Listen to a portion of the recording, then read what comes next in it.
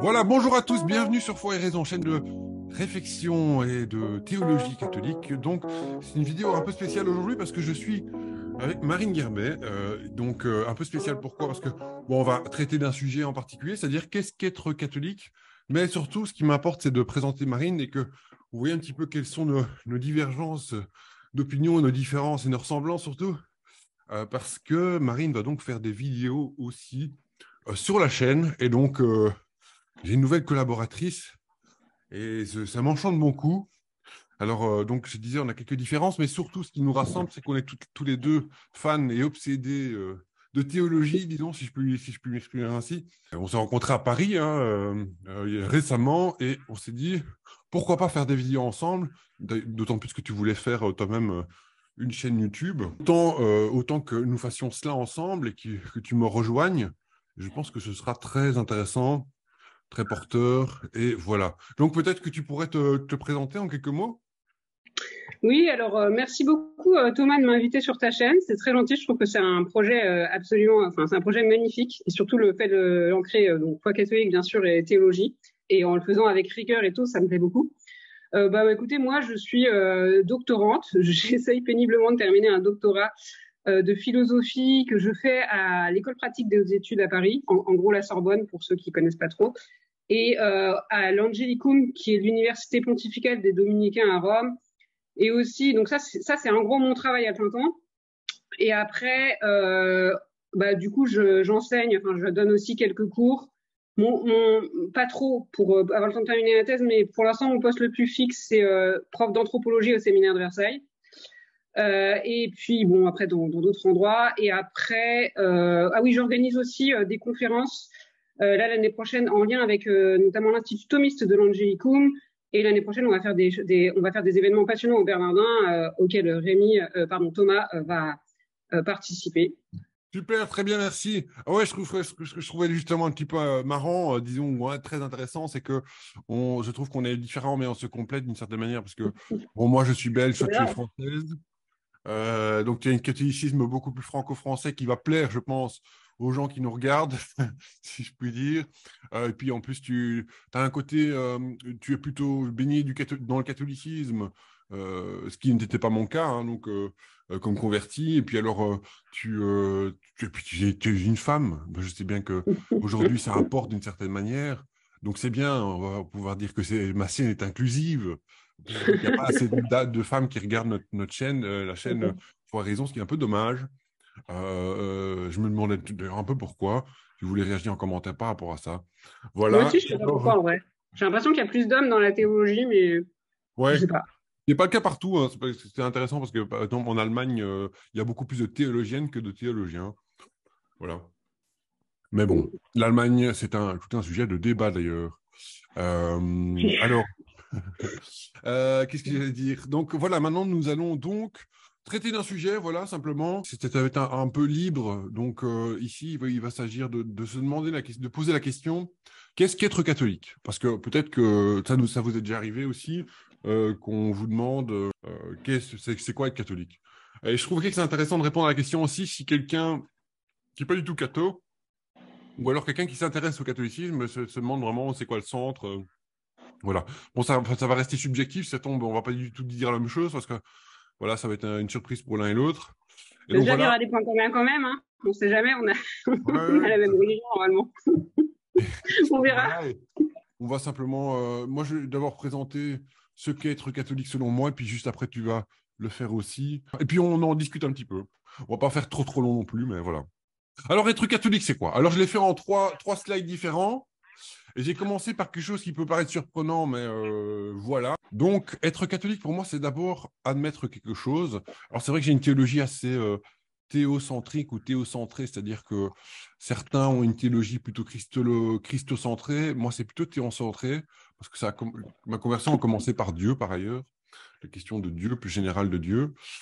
Et être catholique, pour moi, pour commencer, ce serait admettre que je ne suis pas autosuffisant. Il y avait un prêtre une fois qui m'a dit, qui, au début de ma conversion, il a dit Thomas, tu n'es pas autosuffisant. C'est-à-dire quoi? C'est-à-dire qu'on est, on est précédé par quelque chose. J'ai vu Macron d'ailleurs qui disait dans une vidéo quelque chose qui nous, j'ai l'impression qu'il y a quelque chose qui nous précède, quelque chose qui est au-delà du, du contingent. Bref, je sais pas pourquoi je cite cela, mais ça m'a fait rire cette vidéo. Bref. Une transcendance, oui. Quelque chose qui dépasse, qui vous dépasse, qui vous a précédé et qui restera. Euh, donc, c'est admettre que je ne suis pas autosuffisant, c'est-à-dire qu'on a un sentiment de dépendance à un au-delà de soi-même, c'est-à-dire un Dieu créateur, quelqu'un qui nous crée, qui fait notre nature. Donc, euh, je dis souvent, Dieu est principe et fin de mon existence. Et puis, c'est la condition de ma liberté, c'est-à-dire que s'il n'était pas de Dieu, eh bien, euh, oui, c'est ça, je, subirais un petit peu les, les choses. Enfin, bon, c'est la question du libre arbitre aussi, mais je ne vais pas rentrer là-dedans. Et puis il y a une relation avec Dieu. Et c'est aussi par la présence en moi de l'esprit de Jésus-Christ, c'est-à-dire que je ne suis pas seul. Et puis aussi être catholique, c'est recevoir, et pas être suffisant en sens où on reçoit l'évangile par la, par la médiation d'hommes et de femmes qui m'ont précédé, c'est-à-dire qu'il y a une tradition. C'est-à-dire que l'évangile, je l'ai reçu.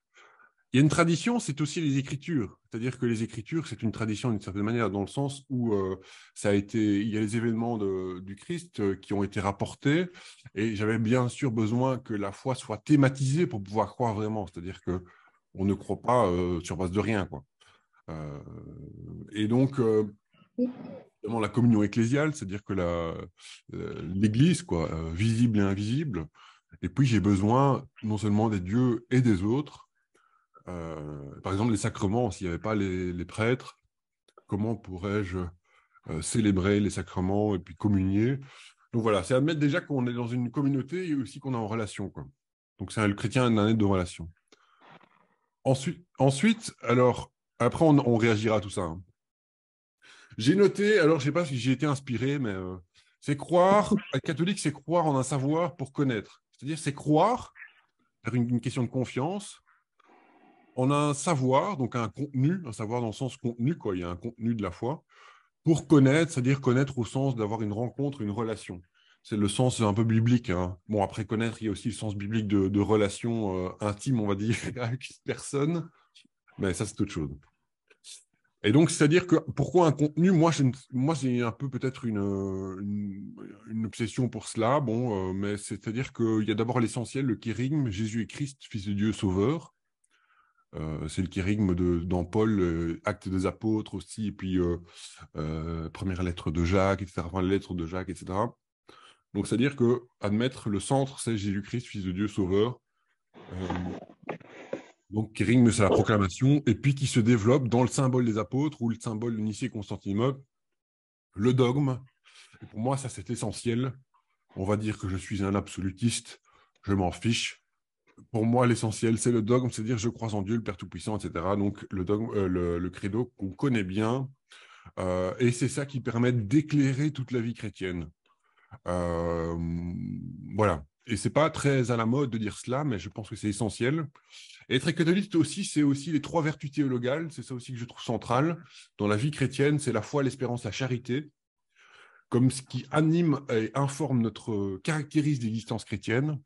La foi, c'est le don de Dieu, c'est-à-dire qu'elle nécessite aussi une disposition intérieure, une capacité d'accueillir, etc., et puis un assentiment de la raison.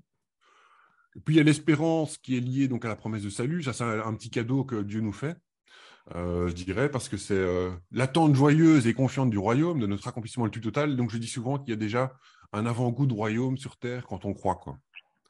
Et puis alors la charité, aimer Dieu et son prochain, ce qui est donc le plus grand commandement que Dieu, que Jésus nous donne d'ailleurs.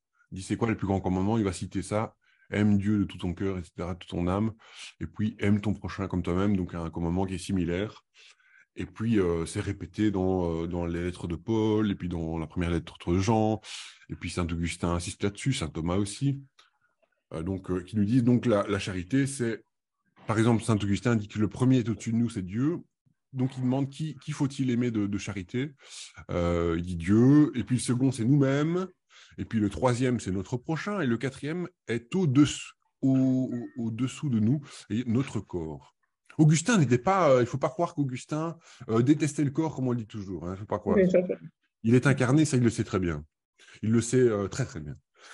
et saint Thomas, Dieu, il disait donc aimer de charité Dieu nous-mêmes, notre prochain, donc et parmi les prochains, l'ennemi, il a pas mal insisté là-dessus aussi. Je crois que c'est dans, oui, c'est dans dans la segunda pars de sa somme, aimer aussi ses ennemis. Alors, on n'est pas obligé d'aimer aveuglement et surtout pas la péché, le péché dans la personne, mais, euh, mais en tout cas, aimer la personne pour ce qu'elle est, pour une, une, créature de Dieu qui est en lien avec nous d'une certaine manière.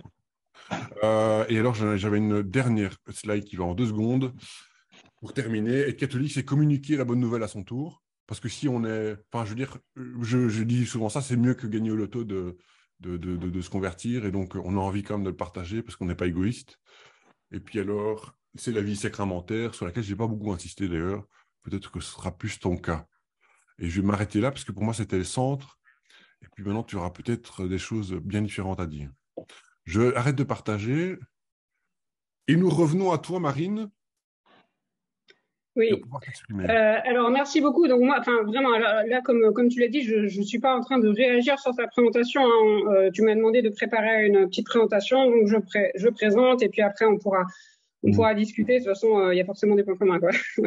Alors, ah oui, déjà, en fait, je, je, ça peut paraître évident, mais euh, je tiens à le dire. Euh, moi, je trouve que YouTube, c'est une plateforme absolument extraordinaire pour pouvoir témoigner de sa foi, comme le Christ nous a demandé de le faire mais euh, comment dire, je n'ai pas d'autorité. Enfin voilà, euh, c'est pas parce que quelqu'un arrive sur YouTube et dit bonjour, je suis catholique et voilà ce qu'est la foi catholique que euh, automatiquement il faut le croire. et moi la première d'ailleurs. Donc on a, si on veut vraiment savoir ce qu'est la foi catholique, eh bien il faut aller voir dans l'écriture, dans la tradition de l'Église.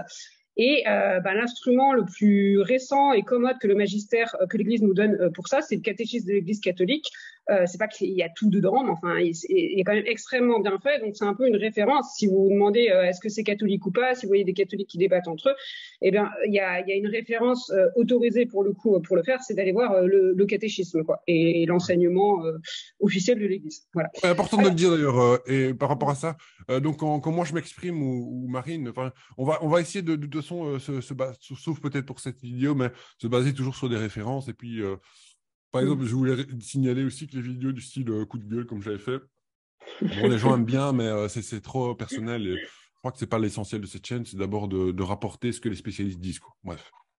Et, euh, ouais. et exactement pour le catéchisme, c'est-à-dire que c'est comme dit Humbrecht, les gens catholiques ne lisent pas assez euh, le catéchisme, alors que je trouve que c'est très bien aussi. Ouais. Il est sur Internet, hein. sinon ça coûte, je sais pas, ça coûte vraiment pas très cher en, en, mmh. édition de poche. Ouais, non, voilà. 10 euros, je crois. Donc voilà, donc en fait, je, je, je, tenais à le dire parce que je trouve que c'est quand même une responsabilité euh, de parler euh, de la foi.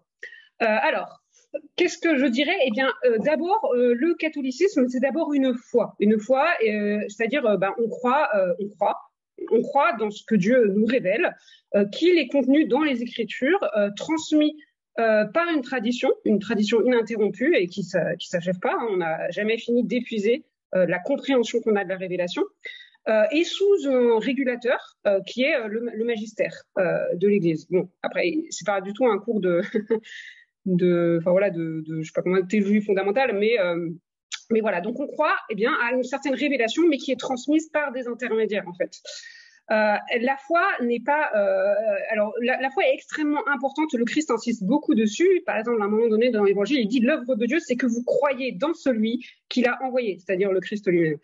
Euh, si on veut un condensé du mystère chrétien, eh bien, on peut faire exactement, enfin, ce que tu as fait, c'est-à-dire se reporter au credo, qui est la synthèse la plus commode pour comprendre un petit peu le centre de la foi. Et alors, euh, qu'est-ce qu'on croit? Parce qu'on croit, donc on croit à Dieu qui se révèle à nous. C'est une grâce. Hein, on ne pourrait pas euh, avoir ce, ce mouvement d'adhésion d'intelligence sans euh, grâce de Dieu pour ça. C'est un don que Dieu nous fait. Euh, mais on croit, il y a un contenu en fait. C'est pas juste une attitude du cœur ni une attitude d'intelligence. Il y a un contenu et qui est contenu, comme je le disais, donc bah, dans le credo, les dogmes, etc.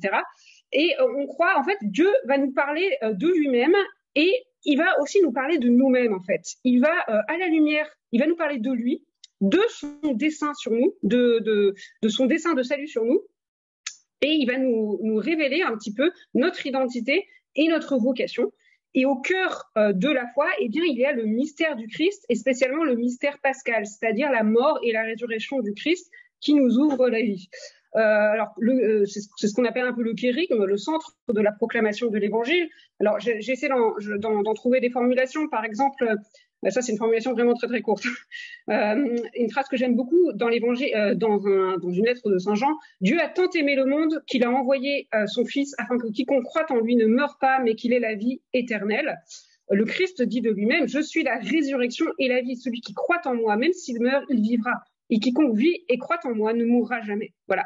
Donc en fait, l'existence chrétienne, ça consiste à recevoir et à vivre la grâce qui vient du Christ et d'une certaine manière à se conformer au mystère euh, du Christ, qui est un mystère de, mort, de mort au péché et de résurrection euh, dans une vie nouvelle. Euh, en fait, que qu'est-ce que ça veut dire se conformer au Christ? Eh bien, le Christ est le Fils de Dieu, le Fils unique engendré de Dieu, et nous, nous sommes appelés à être les enfants de Dieu dans un sens d'adoption. On est appelés à être les fils adoptifs de Dieu d'une certaine manière par grâce. Voilà. Euh, et euh, voilà, c'est ça en gros ce que signifie se, conformer au Christ. Et pour cela, eh bien, c'est le Christ qui est la source et le modèle euh, de notre existence chrétienne. Comment est-ce que la grâce parvient jusqu'à nous? Eh bien, le canal numéro un, c'est les sacrements. Alors, les sacrements, il y en a sept. C'est par ça que c'est un petit peu donc la source de toute notre existence chrétienne. Et comme toute vie, eh bien, on commence par la naissance. Et c'est le baptême en fait qui nous fait naître à la vie de la grâce.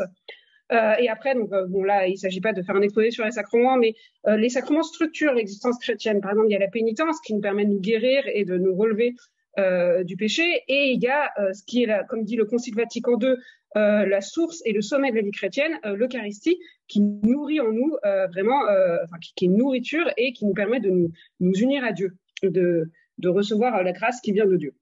Alors, cela dit, être catholique, donc là j'ai essayé d'ébaucher un petit peu euh, la foi, le Christ, le mystère du Christ, les sacrements.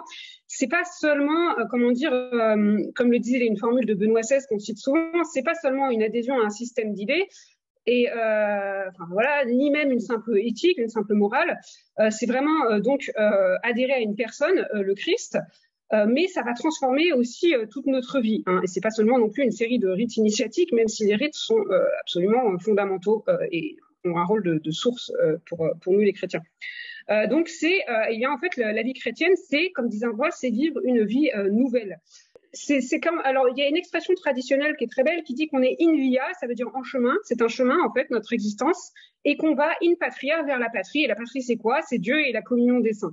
Simplement comme tout voyage pour arriver à destination, eh bien il y a une carte et euh, il y a un mode d'emploi si on veut. Tous les chemins comme dit le Christ, il y a un seul chemin hein, qui mène vers la vie éternelle. Et c'est celui que le Christ est venu nous apporter. Donc voilà, donc il y a un chemin qui sont les commandements et les préceptes que le Christ nous a transmis. Il nous a expliqué euh, comment vivre les commandements. Il y, a, le sermon sur la montagne qui est absolument magnifique, euh, qui donne non seulement, enfin, qui, explique qu'il faut suivre la loi, mais surtout avec euh, l'esprit de, la loi, les deux étant inséparables. donc voilà, donc en fait, être chrétien, ça va changer toute notre vie en la centrant complètement sur Dieu et sur le Christ et euh, en nous donnant un petit peu les moyens pour le faire, notamment par l'intermédiaire des préceptes. Et après, l'Église euh, est notamment en charge de nous expliquer, euh, au fur et à mesure qu'il y a des nouvelles questions qui se posent, bah, ce qui va être conforme à l'existence chrétienne ou ce qui ne l'est pas, sachant qu'en fait, d'une certaine manière, en fait, il y y a, quelque chose de complètement fou dans le message chrétien, dans le sens où, en fait, parce que Dieu nous a fait à partir de rien, on est vraiment créé par Dieu et complètement sauvé par Dieu. Il n'y a que Dieu qui peut tout nous demander. Donc en fait, toute notre existence est ordonnée vers Dieu, mais c'est le seul qui peut le faire sans que ça soit un totalitarisme et qui va même nous libérer de toutes les formes de totalitarisme. Nous sommes de Dieu et nous allons vers Dieu. Et, on peut tout donner à Dieu et on n'y perdra rien. Au contraire, parce qu'en fait, c'est Dieu qui nous a fait et qui nous a fait pour le bonheur. Voilà. Euh, donc il n'y a, pas de concurrence entre Dieu et la créature, quoi. Voilà. Je, crois que je suis déjà trop longue, mais c'est pas grave. Je vais terminer par euh, un petit peu. On dirait, mais voilà, mais bon, les catholiques, vous êtes des chrétiens. Je, pense qu'il y, a, une image qui vient, je crois, de Saint Jean Bosco ou d'autres, qui est euh, une triade qui dit voilà, voilà, il y a trois signes qui généralement montrent que là, vous êtes dans quelque chose de spécifiquement catholique, surtout le dernier. Alors il y a la, Vierge Marie, euh, la vénération envers la Vierge Marie. Alors c'est pas du tout Dieu, hein, c'est pas un culte, mais en tant qu'elle est la mère de Dieu et aussi un petit peu, elle, synthétise en elle euh, notre vocation. Ça veut dire elle reçoit la grâce, c'est vraiment celle qui s'est fait purifier au maximum et sanctifiée par la grâce de Dieu. Et non seulement elle, elle s'est fait sanctifier, mais aussi on est appelé à la transmettre et à être des médiateurs et des intermédiaires euh, de la foi. Donc Dieu non seulement nous sauve, mais en plus il nous donne d'être des instruments de salut pour les autres. Même si évidemment euh, la relation à Dieu est toujours directe, mais les médiateurs ont leur importance parce qu'on est incarné. Voilà. Euh, il y a l'Eucharistie qui est au centre de la vie chrétienne avec le, sacrifice eucharistique qui nous fait profiter des fruits de la passion du Christ et qui nous unit au Christ. C'est un truc complètement fou. C'est-à-dire que le Christ, euh, le corps du Christ est euh, réellement présent et euh, eh bien on peut se l'assimiler d'une certaine manière. c'est fou. Et alors là, pour le coup, parce que là, les orthodoxes seraient assez d'accord avec nous, je pense, sur la Vierge Marie et l'Eucharistie, même si les protestants ne nous suivent pas trop là-dessus.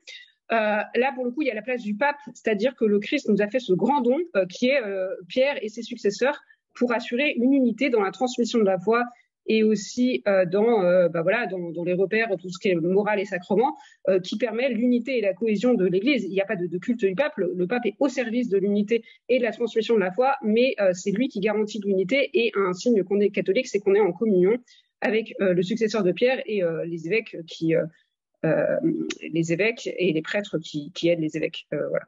Donc voilà, donc c'est forcément complètement incomplet et imparfait, mais voilà la synthèse qui me vient à l'esprit si on me demande de dire euh, ce qu'est la foi catholique. Super, très bien. Mais vous voyez, je n'ai pas menti aux auditeurs. Marine est très intelligente, plus que moi. Elle a plus de culture que moi, de culture théologique et plus spirituelle. Donc voilà, je suis content de t'avoir, euh, d'être en contact avec toi pour la suite de la chaîne. Donc c'est parfait. Euh, écoute, je suis d'accord avec toi en fait. Et surtout, à un moment, tu as dit effectivement, c'est pas, je crois que c'était pas un agi, enfin, c'est pas une morale quoi. Bah, c'est ce que Benoît XVI dit, ça veut dire c'est pas euh, c'est pas juste un système d'idées ou une morale, même s'il y a bien sûr il y a une vision du monde dans le catholicisme et bien sûr il y a il y a une attitude chrétienne, mais euh, c'est c'est euh, le, le, cœur, c'est la relation avec Dieu et c'est même ça qui l'entraîne en fait. C'est pas non plus un gnosticisme où il y aurait une espèce d'adhésion mentale à Dieu et puis le reste on s'en fiche, ça passe dans toute notre vie quoi. Ouais, ouais, c'est une phrase qu'on retient souvent de Benoît XVI et qui est très juste. Ouais. D'ailleurs, euh, c'est un truc qui, je dois avouer, hein, me, tracasse beaucoup. C'est-à-dire que c'est le fait de centrer toujours la foi catholique sur, euh, sur des pratiques, euh, enfin, sur une, une, morale à suivre, des règles à suivre scrupuleusement dans sa vie au quotidien, euh, ce que je trouve dommage parce que ça ne respecte pas complètement notre autonomie et notre conscience donnée euh, en tant que chrétien. Et évidemment, il y, a des, choses, il y a, effectivement des, des, prescrits moraux d'une certaine manière, mais ça ne fait pas le centre. Ça, c'est un truc euh, qui, je dois avouer, me, me dérange, c'est-à-dire de voir la foi chrétienne comme une orthopraxie plutôt qu'une orthodoxie c'est pas comme dans le judaïsme où finalement on trouve, euh, on trouve des juifs qui sont athées. Ça peut nous paraître bizarre, mais, euh, mais chez eux, il y a une, il y a, il y a, il y a, il y a une pratique qui importe peut-être plus que le croire, alors que nous, c'est le, croire qui était au centre. Euh, et c'est ça aussi qui fait une des spécificités du christianisme, je crois. C'est un détachement par rapport à une pratique pharisienne, disons. Je pense qu'aussi je pense aussi que le, contenu de la foi et puis euh, ce, qu'on croit nous permet de nous, de nous, de nous, de nous, de, faire en sorte qu'on puisse agir correctement au jour le jour, quoi. Euh, en fait, bon, je, je suis pas sûre de. Alors, je, je, crois que je comprends un peu l'idée de ce que tu dis, mais je suis pas sûre de comprendre euh, très concrètement ce que tu entends là, parce que je, je, crois que parfois, enfin bon, j'essaie de m'exprimer simplement, mais je pense qu'on n'a pas à opposer ou mettre en concurrence des choses qui sont censées pour être unies. Par exemple, euh, bon, après ça dépend ce qu'on entend par morale, mais vivre de façon droite et juste, euh, ça fait partie, euh, bien sûr, de, de, la vie chrétienne et de, euh, de l'être catholique. Et euh, enfin, en fait, il n'y a pas de concurrence entre les différentes dimensions. la foi nous apprend à, à, regarder les choses et à regarder le monde d'une façon nouvelle et exige de nous une vie nouvelle aussi. voilà, il y a la foi, il y a la morale, il y a les sacrements mais c'est pas en concurrence quoi. C'est un peu comme euh, l'espèce d'opposition que je qui, qui que je trouve pas très juste entre euh, bah il y a le chrétien intérieur et le chrétien extérieur. Bah non, enfin c'est c'est je, vois pas la pertinence de devoir choisir euh, euh entre les deux. Donc oui, je, je, bah, dans le sens où c'est pas disons des espèces de règles, des cases à cocher et tout, mais par contre oui ça ça ça doit vraiment imprégner notre vie. Et euh, oui, il y, a des, il y a des règles, quoi. Très concrètement, euh, il y, a, il y, a, des choses, euh, des pratiques ou des, des, des actes qu'on pose qui nous éloignent de Dieu et d'autres qui nous en rapprochent, quoi. Voilà. Je sais pas. Bien sûr.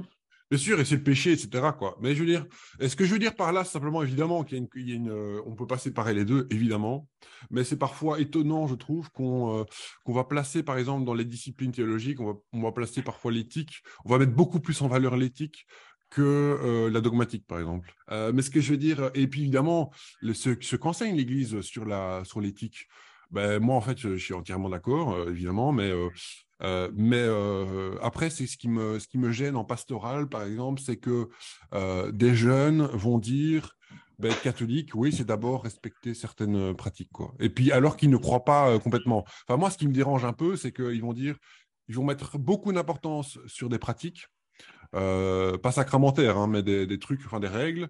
Et par contre, ils vont dire, ah ouais, ben, Marie, mère de Dieu, Théotokos, ouais, ça, j'y crois pas, je m'en fiche. Enfin, c'est très étonnant, quoi. donc voilà. C'est peut-être mon obsession aussi parce que je suis en train de faire des travaux sur l'éthique sexuelle de l'Église. Et je dois avouer que ça me, ça me saoule, quoi. je veux dire, c'est pas ça pour moi. C'est pas, c'est pas ça pour moi être théologien, dire pourquoi tu peux pas coucher. Enfin, voilà. Je comprends qu'on puisse apprécier, hein, mais. Je pense que là où aussi où on peut pas mettre entre parenthèses l'éthique, c'est que l'éthique, c'est un peu comme pour les questions liturgiques. Alors, faut surtout pas parler de liturgie maintenant, mais comment dire, euh, c'est un petit peu ce qui euh, le concret de notre vie en fait. Euh, un, risque qui est en fait, enfin tout, ça du cas par cas en fait. Chaque, personne a ses points de progrès où on doit tous purifier d'une certaine manière notre foi, notre vie chrétienne, etc. Mais c'est là où en fait où Dieu nous attend dans le concret de notre vie. Et parfois, bah oui, c'est c'est forcément un lieu de, de passion très forte, mais je sais pas, je trouve que le Christ et Saint Paul, par exemple, insistent beaucoup là-dessus. Mais après, c'est vrai que, en fait, c'est un tout, quoi. Ça veut dire, euh, euh, voilà, on est baptisé, on reçoit la grâce du Christ, et maintenant, on, on, on vit, on essaie de, de, se conformer vraiment à ce que le Christ attend de nous. Et ça passe. Alors, en fait, ça dépend aussi de ce qu'on entend par l'éthique, parce qu'on est aussi, euh, je pense, euh, très imprégné par une conception post-ancienne de la loi qui en fait une espèce de, légalisme où c'est des règles qu'il faut appliquer, un impératif catégorique ou quoi. Alors que bon, la, conception euh, catholique et notamment c'est saint Thomas qui sert de référence numéro un là-dedans, c'est vraiment que faire pour vraiment être heureux et développer le meilleur de notre humanité. Et, voilà, et, ça touche parfois effectivement des domaines intimes de notre vie, mais c'est quand même important. Après, c'est sûr, bon, il y a une euh, il y a une gradation, mais c'est pas, enfin, je sais pas, par exemple, dans, mon corps, dans, notre, dans le corps, euh, le, cerveau et le cœur sont plus importants que les mains et les pieds, mais les mains et les pieds, euh, ils sont quand même nécessaires pour, pour, pour un équilibre d'ensemble. Mais en fait, ce qui, ce qui, est gênant, en fait, et là où ça, ça devient hyper polémique et où c'est vrai que les passions peuvent très vite l'emporter sur, sur la raison, on va dire, dans, dans la façon d'en parler, c'est que ça touche en fait notre vie concrète. Ouais.